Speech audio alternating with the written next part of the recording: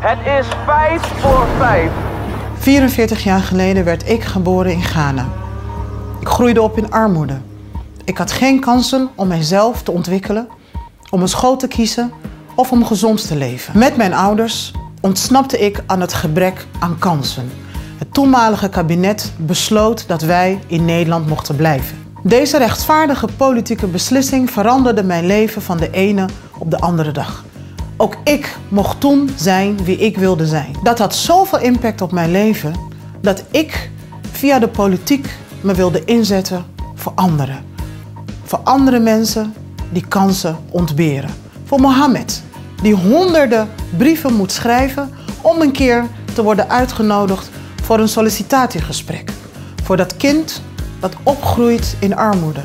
We leven in vrijheid. En in die vrijheid kunnen wij werken aan onze democratie, zodat iedereen zijn dromen kan waarmaken. Dat is iets om trots op te zijn en om te koesteren.